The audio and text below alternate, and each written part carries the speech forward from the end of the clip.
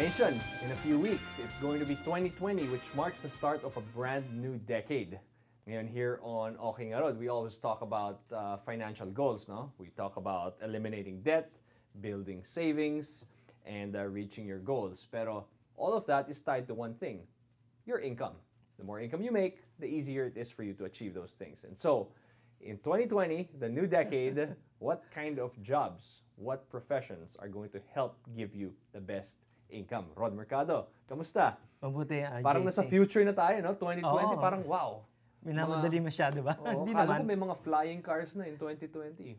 Hindi pa Mm. naman tayo dun. Wala pa naman siguro. Pero anyway, since kanina binang, binanggit mo kasi yung income, di ba? So ito yung take ko no, pa, uh, for yung mga highest paying uh, uh, jobs na magiging high demand Mm-hmm. Uh, sa, ano, magkakaroon ng high demand sa next decades. Okay. Number one, mga software developer, developers, right? Nako, dito sa Bay Area, you, almost everyone you meet is, is in software, di ba? Oo, 'di ba? Kaya nga ang, ang daming mga ah, um, mayayaman dun sa ano eh, sa Silicon Valley, no? Mm-mm, oo. Ah, dahil ang lalaki ng sinasweldo nila. Oh, well, tingnan mo na lang, halos lahat ng kumpanya ngayon, halimbawa, ano meron sila? Mga applications, Correct. mga apps. na- Ang dami yan. Ah, ako nga, nagde-develop na kami ng application namin for financial rescue. Yeah. So, magkontrata ka lang ng isang isang application, ang laki-laki yung binabayad mo. Yes. So, sobrang taas ng demand. Alam mo bang pinoproject nilang growth is 24%. Okay, 24% growth of soft in software engineering demand, Demand, yeah. in this decade. Exactly. 24%. Ang laki nun, di ba? Mhm. It's looks like an obvious, easy answer. Yes, software development, but you explained it very well kung bakit. Yes. Okay. Uh, number two, RNs. Nako, Registered nurses, maraming, di ba? marami tayong kanation na Oo. fall under this category. Diyan tayo magaling eh, di ba? Pagdating sa healthcare. Oo. Pero bakit nga ba?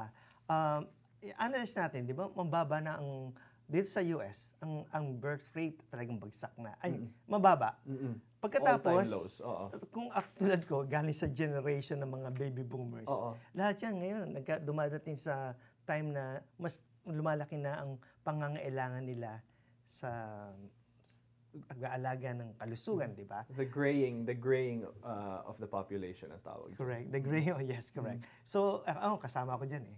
So, wala pa namang gray hair dyan. Hindi, nilalagyan na lang ng Ah, kulay okay. yan. Ah, ah. But anyway, yan, malaki yan. Ang pinoproject nga nila, uh, growth 16%. No? Alam mo, ang laki ng sweldo ng mga nurses natin, di Oh, ba? yeah. And a good work-life balance too for RNs. A lot of them have flexible hours. You know, they have a good work-life balance. Um, so th- that's something also to consider. Hindi lang mataas yung pay mo, pero yung quality of life mo rin. Eh, Ah, yeah, tama, tama. tama. Um, in the financial services sector, hindi to mawawala. You need to be Oh, good yeah. in math. You need um, actuarians. You need accountants. You need financial advisors. Correct. Um, this is still also projected to be big sa Oh, coming yes. decade. Oh. Malaking projection ng growth yan, umaabot ng 41%. Mm-hmm. Uh, yung mga tinatawag natin mga actuaries, alam mo bang umaabot ng 300,000? Ang sweldo Annual nila. income nila, 300,000. So, That's you. You That's usually need a two uh, income household to achieve that. But if you're a successful actuarian, kahit mag-isa ka lang. uh, the, your spouse can stay at home. Uh-huh. pwede, di ba? And you Pwede. and you still live a Bakit comfort. hindi? Oh. Mm, you still live Mga engineering jobs din, no? marami din yan. Uh-huh. Mga high-paying jobs din yan. Mm-hmm. Ah, kung ikaw ay environmental engineer, Mhm.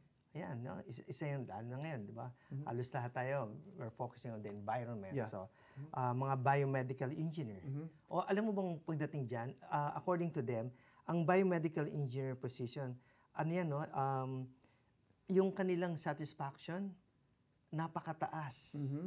And then, low stress daw to. Low stress level. Aba, gusto kong maka, magkaroon ng ganyang klaseng trabaho, Yeah, ba? it, it's it usually the the curve is tumataas ang sweldo, tumataas ang stress. But you're No. saying in biomedical engineering, job satisfaction tumataas, pero yung stress level bumababa, Oo. which is amazing. Amazing, di ba?